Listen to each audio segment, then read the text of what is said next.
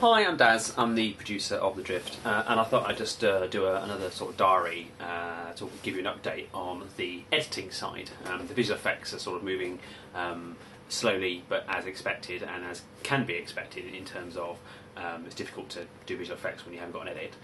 Um, so while that's sort of going on uh, with the team all over the UK and, and abroad, um, I've been cracking on with the edits um, of the scenes.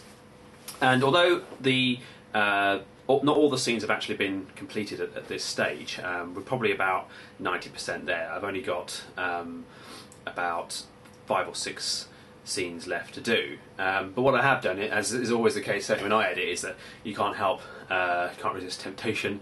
Um, and what I've done is I've sort of put all the um, uh, all the scenes so far, sort of in, a, in, a, in, a, in its own project file. Um, to sort of watch the movie, sort of thing, as, as it currently stands.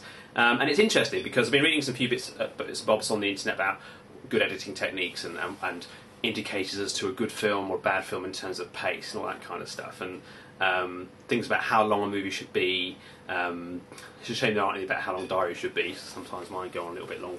Um, but uh, you know, the general rule seems to be nothing more than about 90 minutes, um, unless you, it's, it's a real stonker of a movie. Now, I'm not saying that Drift isn't going to be one of those, but at the same time, again, being realistic, both in terms of how we were in pre-production um, and also in post-production, we have to be realistic in how long is an audience going to sit down and watch our films. Bearing in mind our previous stuff, um, our Star Wars spoofs and uh, Doom Raiders and things like that, even Beach Patrol, were for, for about 45 minutes to an hour and 10, and even that was dragging. Now, admittedly, those stories were, were parodies, um, and there was a lot less a lot less thought went into the, the, story of that. It was a lot more simple, and this this film is is, is not simple at all. Um, so that might be fine. However, having said all that, um, the film currently stands with ten percent of the movie to go. Um, it currently stands at an hour and 45 minutes, so that is obviously very, very too long. Um, however, um, it's, it's good in some ways, I suppose. I spoke to some of the guys and said, you know, it's, it's nearly two hours. They're like, oh my god, yeah, how did we film a two-hour movie? Yeah, yeah.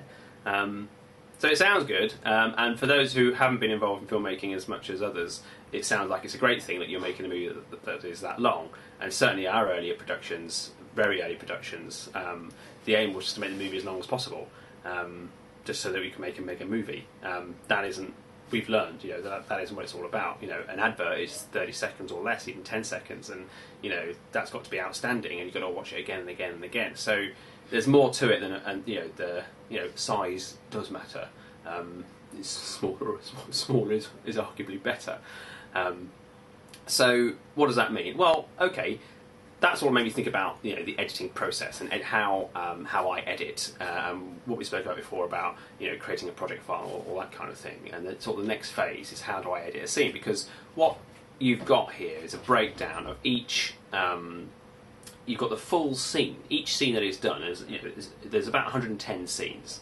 Um, and that's quite typical. Uh, some of them are, very very short. Um, some of them are four or five minutes long, depending on what, what's going on. Um, but when you edit a scene, without getting down to, into the technical side of it too much, which I'll do in a minute, you edit the scene as a story, as in a beginning, a middle, and an end. It's the scene itself is a whole story. So you edit in a style, although it's a storyboard edit, so you have to get all the script in. You can't help but edit in a style that makes that scene in itself um, exciting to watch. And if you were making, you know, little minisodes, small episodes, then that works quite well. A good example is if you listen to a radio drama, an adaptation of a film into a radio drama, you know, a film that perhaps two hours long is stretched into six or seven hours. Um, but if you and if you listen to that all at once, it's quite tiring and dull. But if you only listen to uh, one episode a week, then it becomes quite exciting. Uh, in fact, even just looking at um, television episodes, serials, you know, um, especially these days with the programs like Lost and, and stuff that uh, it's a continuous story. Um, if you were to watch all those in a go, that might be quite tiring. Now, that's a professional product, but at the same time, the story itself isn't how far is it moving, you know, in each episode? Not much. But it doesn't matter because you only watch it once a week uh, and it's still exciting as it as it's um, in its own right as, as, a, as a program. So when you edit your scene, that's not why you edit that scene. It, it's, it's natural to edit your scene into a into a story that's almost self-contained. Um, so that also you know kind of automatically makes it longer than it might need to be. Um, there might be more exposition. There might be more um, visual cues that you, you you put in that scene in isolation. That once you start joining it with other scenes, you, you already know something, so you, you're seeing the same thing twice. So there's an immediate way of being able to remove stuff and shorten the, the, the edit down. But the other thing about um, editing at this stage, especially as just a sort of storyboard edit, is um, to make sure that you're not missing out on certain shots. Um, and that makes the edit longer as well. You want to make sure you're, you're covering everything. Uh, now, how do you do that? Well, this is sort of the breakdown of, of the scene edit. That what I, what I do is um, just like you break the whole movie down in, into scenes. I almost break each scene down into into lines, as into uh, as in script lines.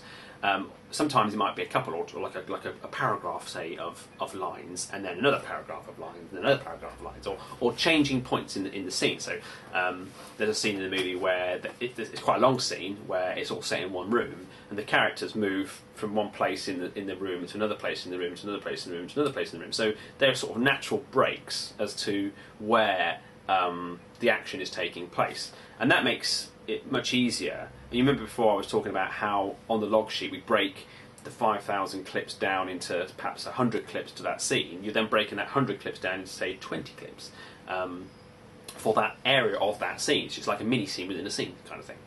Um, and how far do you go? Well, it kind of sounds like a bit of a silly question, but it's not a silly question. You go right down to the cut, down to the, the single take, ultimately.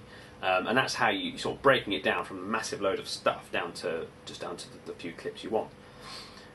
So what I, I, kind of do is then is then in, in, in a timeline, uh, I might have a whole pocket of clips, you know, one above the other, and then of just one area of the scene, and then the next one, a whole pocket of clips with all the scene stuff, and then and the same. Um, and then just and literally just drag them out the bin and just put them into a pile of literally just on top of the other, no editing, just a big pile of you know. If you played it, you, you only see one clip, obviously the top one, but you'd hear all the other the dark of everything. So. Um, I'm not worried about that. You just into those lumps, and then you can visually see different bits. Then you move everything out of the way, and then you just work on one bit. So now I may have ten clips to work with rather than the whole scene.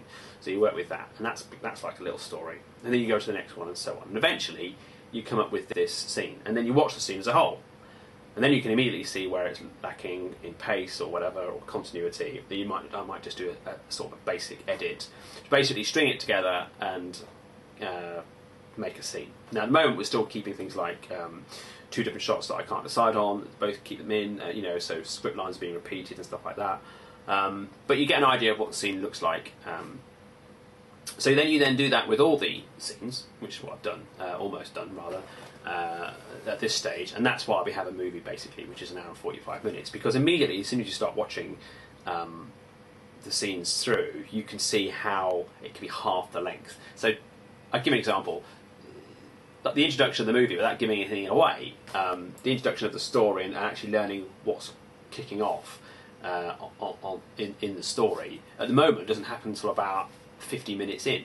Well, that's just ridiculous. That's just far too long. Um, to, yeah, what 50 minutes of establishment is just ridiculous. You just the audience like, oh, where, where is this going? Now there are obviously little action sequences before then, but that's not how you. You really want to be cracking on 20 minutes, 25 minutes, I would say, not being a complete expert, but certainly that kind of if you haven't if the audience doesn't know by that point really what, what what's the point of the of the movie, then what's the point of watching it? You know, um, some films are like that, and that's fine. But this film, there is a turning point. You know, they go out to do one thing, and something else happens. It changes everything. Well, if that doesn't happen until halfway through the movie, then what was the?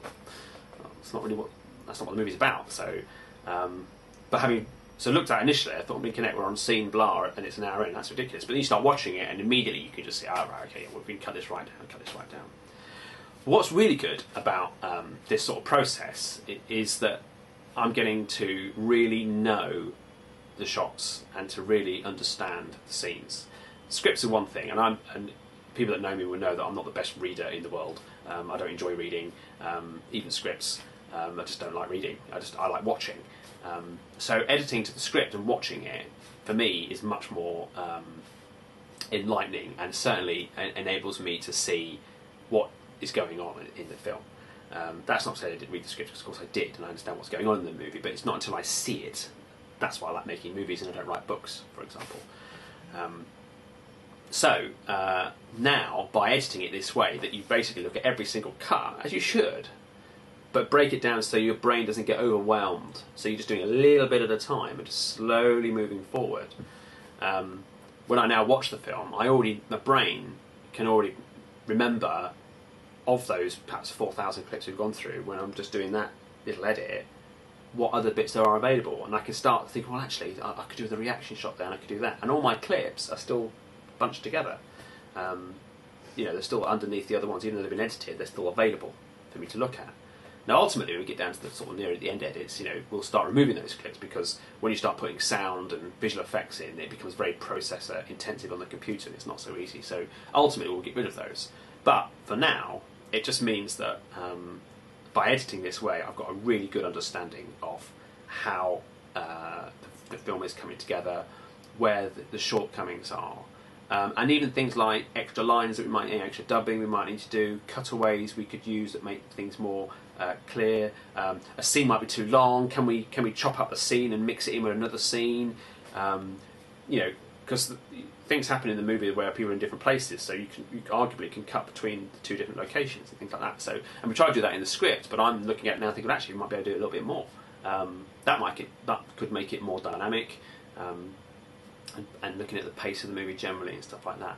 Um, so yeah, it, it makes me very pleased um, to, to do that and to be in that position because certainly doing pre-production and, and filming, you know, it's just a, a, a mad um, process. It's just very intensive, and you are creative. You get you know, that battle run we did during the filming to get all those creative shots, but now we've got that time and we have the luxury, and I think it's only right that we should, as much as it took us six months to build, and then it took you know months to write and to prepare before we'd be built and everything else. I think it's we absolutely should be doing it this way, and we should invest the time uh, in the edit and in sound and visual effects, and not just you know. It's very easy with computers to just slap something together, add a soundtrack, put on a title, and push it out. Um, that doesn't make you a filmmaker.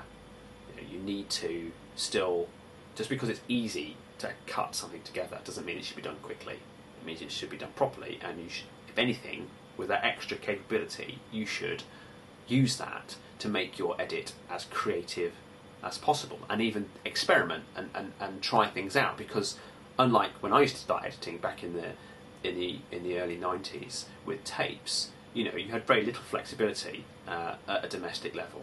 Well, we don't now. We have lots of flexibility, so we should use that not just to create bigger more spectacular films, but certainly also in terms of more spectacular edits and styles. So, so yeah, it's been good. Uh, I just thought I'd sort of bring you up to date on that. Um, got a big visual effects weekend coming up this weekend. Um, see how that goes, and no doubt there'll be some diaries of that as well. So, uh, so there we are.